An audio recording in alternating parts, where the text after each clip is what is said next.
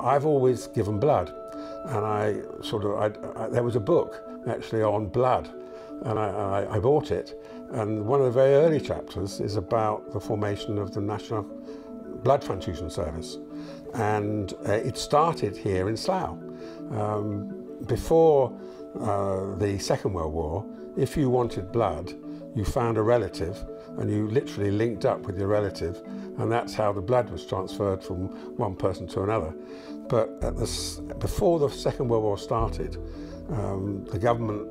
recognised a risk that there'd be a lot of bombing in London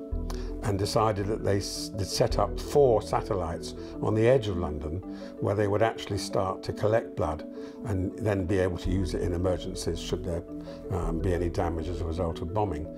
And, and, I'm pretty sure the best one was set up in the community centre here in Slough. The person who ran it uh, went on to become principal of Somerville College, Oxford.